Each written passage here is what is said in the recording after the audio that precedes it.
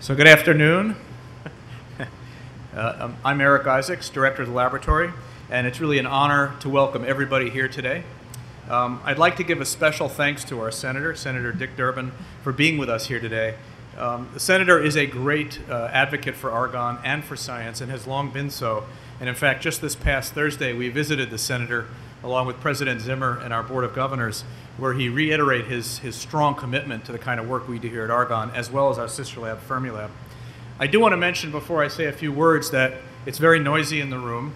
Uh, I'm sure the senator can speak above the noise. The, but most of the noise you're hearing is not from the computer behind me. The computer behind me is actually water cooled and very quiet. It's actually the, all those old computers sitting over on the other side of the room that are generating all that fan noise. So this is the future.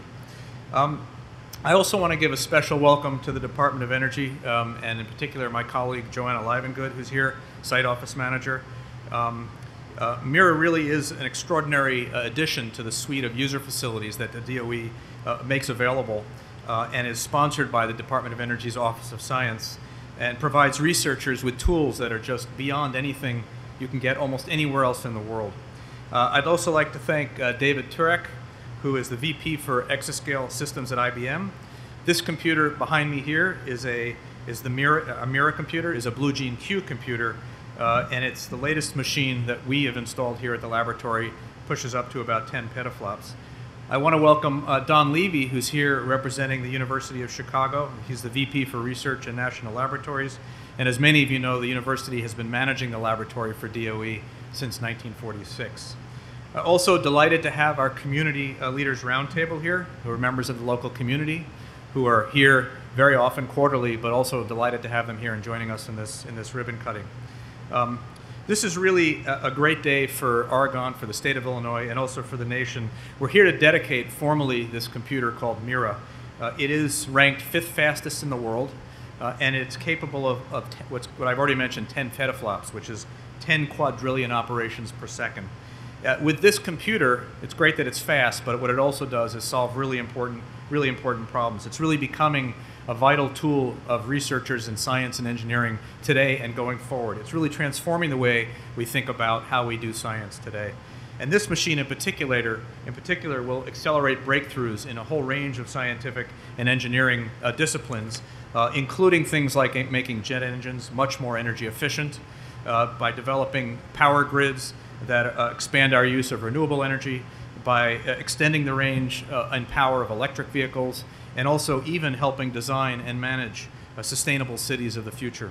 So this machine is an incredibly powerful tool and will help U.S. researchers not only do these great things, but at the same time maintain a competitive edge in the development of, of products and services. And it's these kinds of tools that will be used not just by places like Argonne, but by academia, by industry, as well as our sister national laboratories.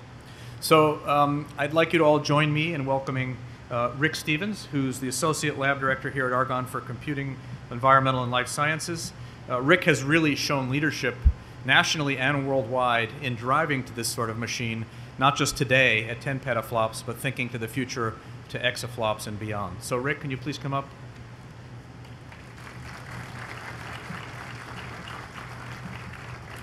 Thanks, Eric.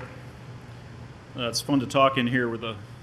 Usually, I give tours in here with no amplification, so this is a lot, lot better. I'd like to add my thanks uh, also to Senator Durbin for uh, coming today, and uh, our many honored guests. Um, one of the reasons we're here today is because of all the hard work of the uh, Argonne Leadership Computing Facility. I want to thank the staff for uh, making this machine work and standing it up and, and tolerating this many people in the in the room. I also want to uh, thank Frank Inez, who's here as our federal product manager. Um, this is a very important day. Uh, the, first the first idea for this machine um, uh, took place over five years ago uh, in a joint R&D project between IBM, uh, Lawrence Livermore National Lab, and Argonne. And we worked for many years together uh, to design a machine that's really optimized for science. And, and that's what we, we have behind me. This is a, an amazing machine. It's uh, almost uh, 800,000 processors, uh, almost a petabyte of main memory. And uh, as Eric said, it's a 10 petaflop computer. Of course, if uh, it just recently became fifth in the world. It came out uh, a little bit ahead of that uh, due to a Chinese machine that's now about uh, three times, three and a half times faster.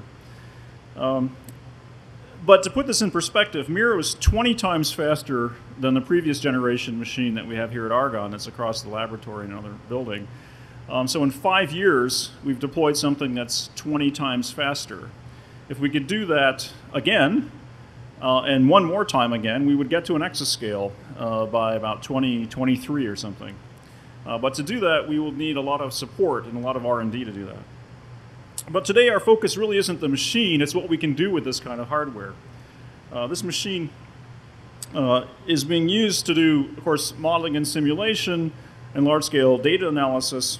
Uh, some of the kinds of problems we're uh, working on, for example, is uh, a partnership with Caterpillar. And we have Kevin Hofstetter here from Caterpillar. Um, we're using Mira to design uh, new, more efficient more engineered uh, combustion systems with Caterpillar. Um, we're also using it, uh, surprisingly, to design better concrete. We have a project with the National Institute for Standards and Technology. Of course, concrete's used all over the world. It takes a, to produce a ton of concrete produces a ton of CO2. And uh, reducing the carbon footprint of concrete would be a, a good thing, as well as improving its ability to be recycled and so forth. So that's a project we're doing. We're also working uh, here to focus on uh, the grid, optimizing electric power grid in Illinois. Um, we're working uh, out how we would add wind power uh, to the Illinois grid without destabilizing it and making it uh, more efficient. Uh, Argonne does a lot of work in energy storage. One of the projects that has a large allocation on this machine is a project to explore materials for lithium air batteries that could dramatically improve the range of electric vehicles. We're also using it to design uh, or understand new drugs and design uh, inhibitors for certain proteins. So, um, but even as we're working on things, uh, on this current machine, we're spending time thinking about the future. I mentioned this exascale goal, this idea of deploying a machine that's about 100 uh, to 1,000 times faster than the current machine. Uh, and the partnerships that we have both on using the machine and on developing uh, this hardware in the future uh, and that's really uh, where we're focusing our energy now. Of course, supplying uh, good support for the users that are using this machine, but looking forward. So this is a great day. I thank all of you uh, for coming. And uh, I guess I took it back to uh, Dave Turek.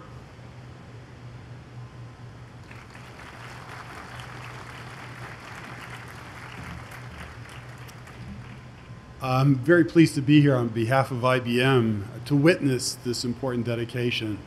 And I want to um, spread my thanks around to uh, all the people who have been involved in helping make this possible, my colleagues at IBM, but my colleagues at DOE especially, and Argonne in particular. My personal relationship with Argonne goes back 23 years. Uh, we've gone through many generations of computing, and every step of the way we've advanced the state of the art in terms of high performance computing available and accessible to American industry. It's been a partnership that's really driven American competitiveness more than anything.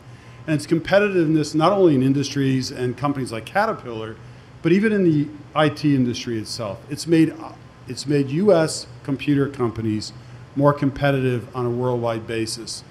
And this is progressively more important as we get to an era in our lifetimes where competition takes place across national boundaries, where nation states are involved in making investments and driving the competitive factors that affect our lives on a daily basis. I want to thank Senator Durbin for his support for what Argonne has been able to do here, and also quite specifically for the support of the uh, exascale legislation to try to reach the ambition that Rick's alluded to. This is a journey that will take some time. It'll be difficult. And we love difficult problems. There's nothing better, as you all know, than to have somebody walk into your office and say, here's a problem that can't be solved. Americans know how to deal with that. IBM knows how to deal with that. People at Argonne National Lab know how to deal with that. Those are the challenges we want to be faced with. We can overcome those odds and we can achieve great things together. So again, my thanks to Eric, to Rick, to Senator Durbin for inviting uh, me to be here on behalf of IBM. We expect our partnership to continue uh, fruitfully over the next five to 10 to 15 years, for as long as I'm around, and to make sure that we achieve all the kinds of goals that we all have an ambition to achieve. This is a great day not only for Argonne National Lab, it's a great day for the Department of Energy, it's a great day for the U.S. economy. What comes out of this will have a material impact on U.S. competitiveness. Thank you. So thank you, thank you, Dave. Thank you, Rick. It now gives me great pleasure. Please join me in welcoming Senator Durbin.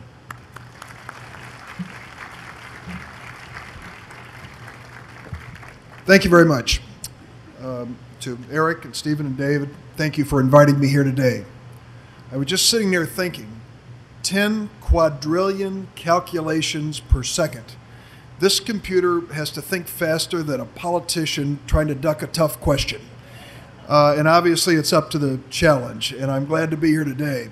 My staff did a good job writing a speech telling about all the practical applications of this computer, but you already know that, and that's why you're here.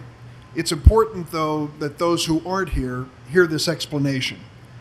I live in a political world in Washington where decisions are being made every day about the cost of different projects and whether those costs can be afforded. Sequestration, ring a bell? That decision suggested that we would just cut across the board and no one would notice. Well, I noticed. I bet you did too. Because when you start cutting back on research grants, even by a percentage, even for six or seven months, you've missed an opportunity. And you may have created an environment where many people with your skills say, What's the point? I'm going to give my life to this so some politician in Washington can decide next year that they aren't going to fund my project. I've got another idea. There's something else that might be more valuable. That's what troubles me. I live in a world where people know the cost of everything but the value of nothing. And if we don't start thinking in terms of value, in terms of human knowledge, our competitive edge, our standing in the world, we're going to fall behind. That's the reality of what we're facing today. Make no mistake, the report on the Chinese is just the beginning. There are other countries too. They're dreaming of getting ahead of the United States when it comes to this basic research. Will we let them? We will if we continue to believe that investment in domestic discretionary spending for research is expendable. The National Science Foundation took a hit from sequestration. The National Institute of Health lost $1.8 billion out of a $32 billion budget. Only 1.8 billion. But what did we lose with that 1.8 billion? What did we fail to learn with that 1.8 billion? I see it much differently. I believe that if we are going to be a thriving economy, a prosperous nation, and a leader in the world, we have to invest in research and we have to invest in people. This last week, we had a pretty important debate in the United States Senate. We decided to do something about our broken immigration system. There are a lot of parts to it 11 million undocumented people in our country. It's something that we have to reconcile, resolve, and I think we did on a fair basis. But another part of that bill also took a look to the future when it came to the minds that we need in our future. It was about 10 years ago that I addressed the commencement of the Illinois Institute of Technology. It was at the Chicago Theater on State Street downtown. I thought it was pretty interesting when they tried, with some limited success, to read the names of all of those receiving masters and PhDs. There were a lot of tough names to pronounce for an American. Many of them were Indian and Asian, receiving not just one master's degree, but multiple degrees and PhDs. We literally handed them their diplomas and then pointed to the Kennedy Expressway and the road out to O'Hare, giving them an indication that now having acquired one of the best educations in the world, they were welcome to leave. The immigration bill we passed last week changes that. We now tell them they're welcome to stay. If they can find a job, we will offer them a green card to become citizens of the United States, to add to our brain pool in this country so that we can have the people on board to keep this economy moving forward.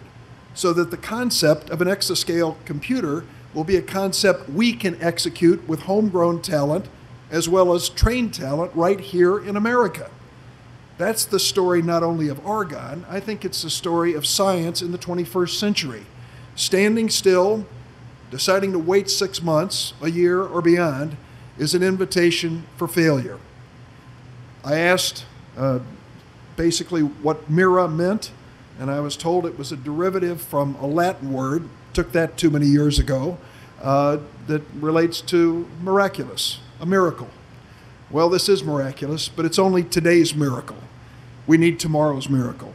The investments we're making in ex- exascale research really look beyond in terms of the next five or ten years.